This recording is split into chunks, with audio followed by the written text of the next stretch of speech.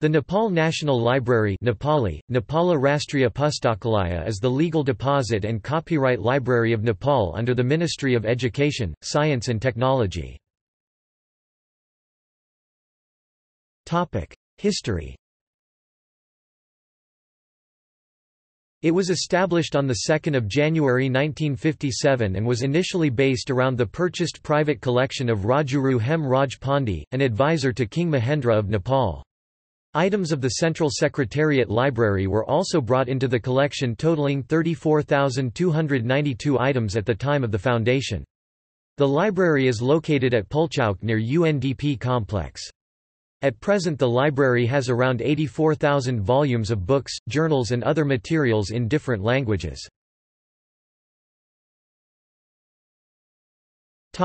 References External links. Official website